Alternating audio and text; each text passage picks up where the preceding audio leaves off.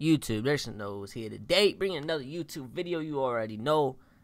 Um, just want to say this is my first one of these I've ever done, and if you like the idea, like I ain't got too many crazy stories yet, but like I got a couple that I could share with you. So if you guys like this type of video, um, just let me know, man. So let's get straight into it. So I'm not gonna lie, this freaked me out, yo. Like I was so like scared and like I was having like a mini panic attack.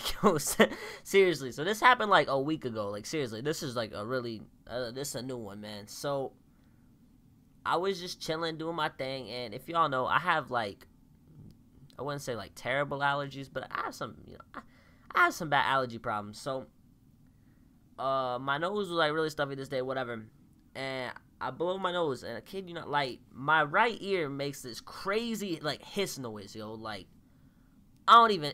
I I can't even explain it. Like what it sounded like. It sounded like if a tire is like like a basketball, a tire leaking, something leaking air. You know, like this crazy hiss noise, right?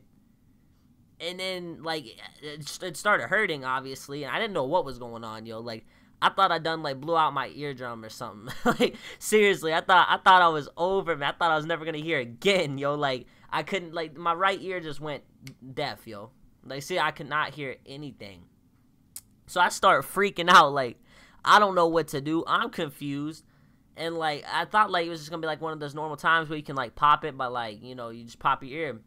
That it wasn't working, yo. Like nothing was working. Nothing was fixing what happened, yo. So I done thought I, I busted my eardrum. I thought I was gonna be deaf forever. Now I'm freaking out, going inside. I'm home alone though, so it's like I can't tell anybody. And like I'm not trying to like call my mom at work or you know something like that. Like so I'm just praying that my ear comes back. like seriously, I'm sitting here just begging, like, come on, man, just let my ear come back, yo. Come on, God, just help me out. And like I would say after 20 minutes after being a, like being a nervous wreck, my ear finally just like came back. It was hard like it I don't know if it's just, I didn't notice it right away, but like I just randomly realized, like, hey, I can hear again. like hey, my right ear is like actually working now, and it was, it was what's up, man. I got so scared for that like 20 to 30 minute period of my life, man. Like, it was crazy. I was so nervous, yo. I thought I was never gonna be able to hear out my ear again. Seriously, I, I don't know, but that's just a little story for y'all. Hopefully y'all enjoy it. It's obviously meant to be funny. Don't take it serious. Like this actually happened, but you know, I'm not trying to be like not trying to act like a badass, you know, it's just for a little story time funny. Uh thing. I have a skit coming out soon, guys, or should be coming out soon. I still got to get uh, a couple more people to help me with it and uh, somebody to record it, and then that'll be out soon. Also, I have another story time, um, one way better than this. Uh, if you guys want to know the title, it's story time. I almost died. It was pretty crazy and pretty like. I guess like I don't know. It was well done. It was let's just say that. Um, so if y'all want to see that, and if this video gets about, let's say, if this video gets 150 likes, I'll drop a story time of about the time I almost died.